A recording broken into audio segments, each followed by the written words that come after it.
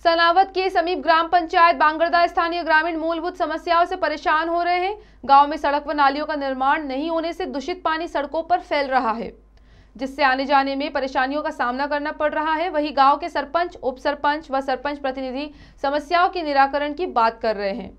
ग्राम पंचायत बांगरदा में भारत माता का अति प्राचीन मंदिर है, जो वर्तमान समय में अपेक्षाओं का शिकार है। स्थानीय प्रशासन की अनदेखी के कारण मंदिर अत्यंत दयनीय स्थिति में हो रहा है, जबकि स्थानीय जनप्रतिनिधि और प्रशासन इसमें रुचि ले।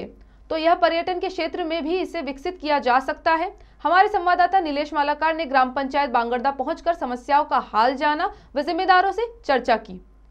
पंचायत बांगरदा में सरपंच, प्रतिनिधि हैं और कहीं न कहीं सरकार की अनेकों जन कल्याणकारी योजनाएँ चल रही है।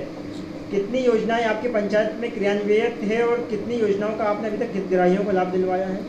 अभी क्या है कि विकलांग पेंशन, जो भी पेंशनें हैं, सभी पेंशनों का अपन प्रयास कर रहे हैं और जो भी हितग्राही है, उनको अपन प्रयास कर रहे हैं कि सभी जो भी हितग्राही जिस आधार में आ रहा है उसमें तो वो सभी को अपन दिलाने की कोशिश कर रहे हैं और कुछ लोगों को मिल भी चुकी है और कुछ लोग अभी सर्वे हुआ था माननीय मुख्यमंत्री के द्वारा जो सर्वे किया गया था।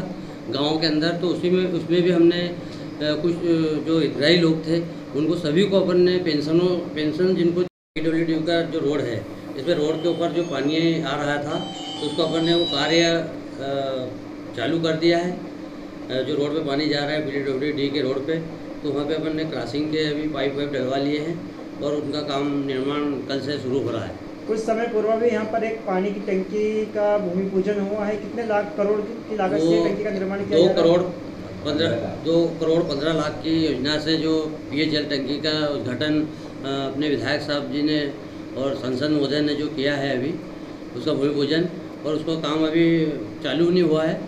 मतलब गिट्टी रेत पड़ चुकी है पर बाकी तीन महीने हो गए और अभी तक उन्होंने चालू नहीं किया। मैंने उनकी शिकायत भी कर दी है कि ये इतने दिन से तीन महीने से कार्य शुरू नहीं हो रहा है।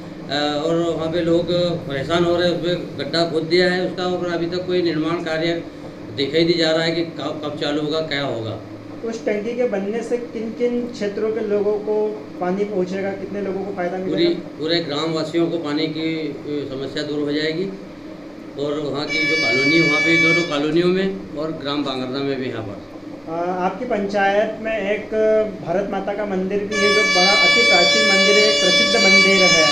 इस यह मंदिर कहीं ना कहीं जीर्ण शीर्ण व्यवस्थाओं में है और कोई भी जनप्रतिनिधि इस पर ध्यान नहीं दे रहा है। इसलिए आपके द्वारा क्या प्रयास किए जा रहे हैं? पहले पूर्व में नहर अध्यक्ष रह चुका था, जब उस समय मैंने आवेदन दिए थे भारत माता मंदिर के लिए। माननीय मुख्यमंत्री जी को भी मैंने खुद उनके स्वयं हाथों में वो पत्र दिया था और उनका शायद दो करोड़ के लगभग कुछ सर्वे करने अधिकारी भी आए थे। तो अभी तक उसका कोई अता पता नहीं है। और कुछ उसके कोई योजना एक सरकार की महत्वपूर्ण योजना है अनेकों हितग्राहियों को इस योजना का भी लाभ मिल रहा है। आपकी पंचायत में अभी तक कितने लोगों को इस योजना का लाभ मिल चुका है और कितनी राशि का आवंटन किया जा चुका है कितनी किस्तें डल चुकी है? अभी तक तो नए पोर्टल के हिसाब से एक बिट के यही पुराने पोर्टल के हिसाब से हुआ है साठ कुटिया। तो उन्हें सभी किस्तें प्राप्त हो चुकी है? सभी को हो चुकी है। कहीं न कहीं जो ग्राम पंचायत बांगड़दा रही है और सदैव हुई चर्चाओं में रही है भ्रष्टाचार में कार्यों की अनियमितताओं के बारे में। तो क्या लगता है जो बांगड़दा पंचायत में पूर्व में जो भ्रष्टाचार हुआ है उसे उसकी आप जाँच करवाएँगे क्या? सोच रहे हैं लग तो रहे हैं कि हमको करवाना ही पड़ेगा। कितना बड़ा घोटाला नज़र आ रहा है हमारा मुद्दा तो यही है कि भ्रष्टाचार मुक्त पंचायत। पूर्व का कितने कितना घोटाला यहाँ पे नज़र आ रहा है आपको? कोई घोटाला हुआ है क्या किसी योजना के नाम पर? हमारी ग्राम पंचायत की तरफ़ से जो भी गाँव के संबंधित जो भी समस्याएँ हैं उसके लिए हमारे बड़वा ब्लॉक में सीईओ साहब उनको आवेदन दे- देंगे हम लोग जो कि समस्याओं पर निराकरण हो सके। जैसे यहाँ पे जो पहली समस्या सड़क की है।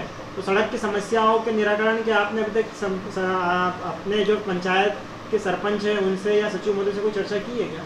हाँ जो सड़क की समस्या है लालिया खिड़ी में जो सीसी रोड का काम अभी पुनः दो चार दिन में चालू कर देंगे उसकी टीएस हमने इंजीनियर से करवा ली है। जहाँ में बड़वा विधानसभा की ग्राम पंचायत बागंडा में, यह बड़वा विधानसभा की एक बहुत ही बड़ी एवं व्यापक स्तर पर फैली पंचायत है।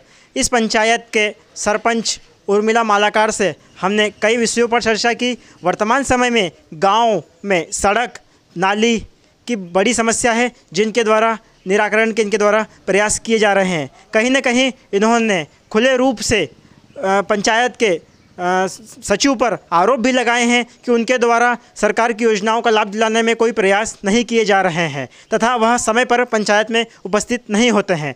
ग्राम पंचायत बांगरदा में भारत माता मंदिर का एक पूरा, अति प्राचीन मंदिर है, जो जीर्ण शीर्ण अवस्था में है। पहली प्राथमिकता उस मंदिर को व्यवस्थित करना होगी। इनके लिए उसके लिए इनके द्वारा क्षेत्रीय विधायक से भी कई बार चर्चा की जा चुकी है, लेकिन अभी तक किसी भी प्रकार का कोई कार्य नहीं किया जा रहा है। अब देखना होगा कि सरकार के द्वारा चलाई जा रही जन कल्याणकारी योजनाओं का कितना लाभ ग्राम बांगरदा के लोगों को मिल पाता है। सनावस से नीलेष मालाकार।